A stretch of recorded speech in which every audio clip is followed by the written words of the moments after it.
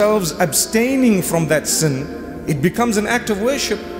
Abstention from prohibition is an act of worship. It pleases Allah subhanahu wa ta'ala. So if I were to stay away from adultery, from gambling, from smoking, from drugs, from various other sins, it would automatically be an act of worship and closeness to Allah subhanahu wa ta'ala. And the further I engage in these items, the more distant I become from Allah subhanahu wa ta'ala. So Allah made us and Allah knows that we will be living in environments that may not be Islamic. We will be living in an environment perhaps where sin will be so easy to commit.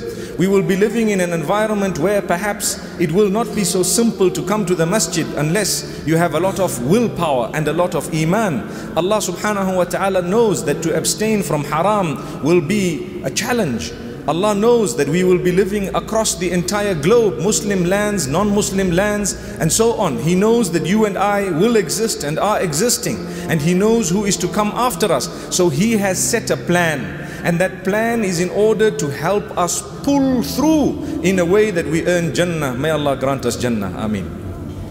What is this beautiful plan? Part of it is to give us a gift known as Ramadan. Amazing. And this Ramadan is such that wallahi the timing of it is absolutely perfect. Absolutely perfect.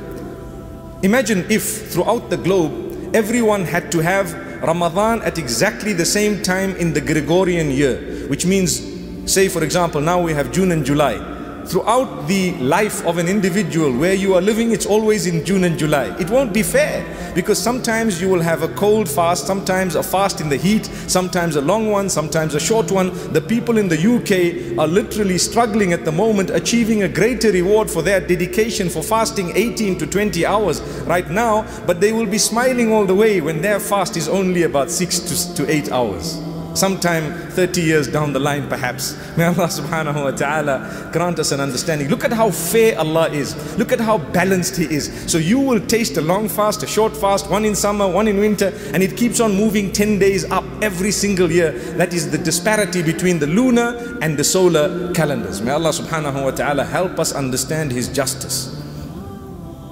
Similarly, can you imagine a Ramadan that happened to have been less than 30 days, 29 days? Less. Say Ramadan was one week. Just as we are rolling in and warming up, it's over.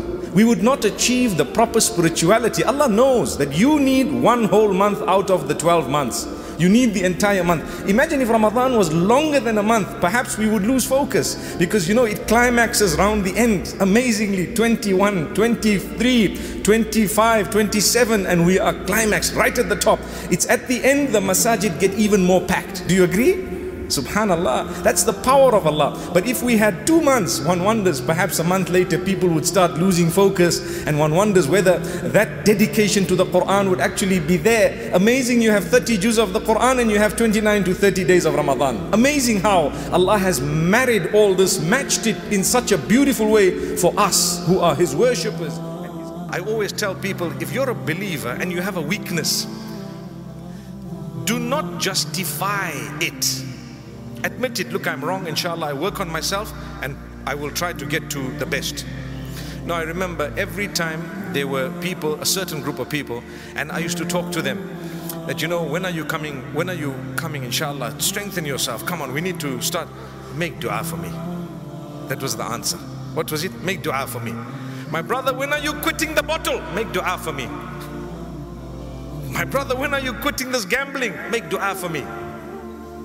When are you quitting this bad habit? Make dua for me. So much so that the statement make dua for me became cheap where it's being used as a scapegoat to say, you know what, it's okay, you worry about yourself, let me worry about me. That statement about you worry about yourself, let me worry about me is not from Islam. In Islam, we are taught to be concerned about ourselves primarily, we have to reach out to those who are astray to try to guide them, starting with the dua, starting with the supplication, and then depending on how much you're connected to them, you need to give them the message.